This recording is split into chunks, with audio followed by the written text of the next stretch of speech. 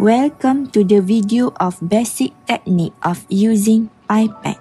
This is pipette filler and there are two functions on a pipette filler.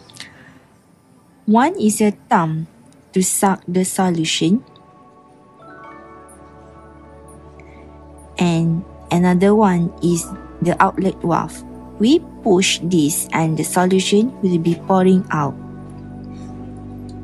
Use one hand to hold the pipette filler and another hand to hold the pipette.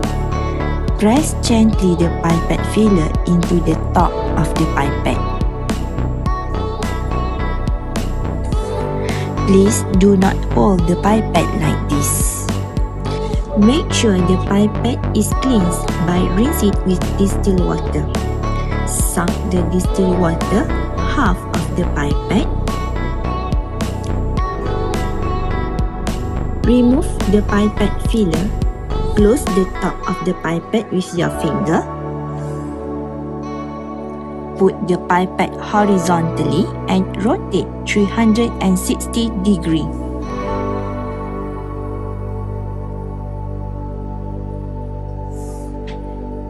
Then, pouring out the distilled water.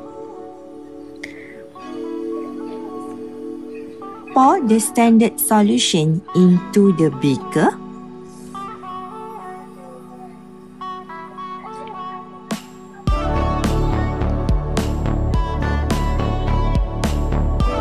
Suck the solution into the pipette over the graduated mark from the beaker.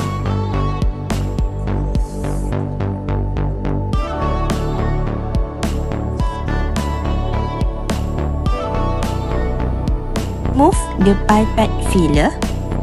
Slowly release the pressure using the finger so that the bottom of the meniscus reach the graduated mark. Please do not pipette the solution directly from the volumetric flask as it will contaminate the solution. Touch the tips of the pipette with the wall of conical flask while deliver the solution. Make sure the angle of the pipette is 30 degree with the conical flask.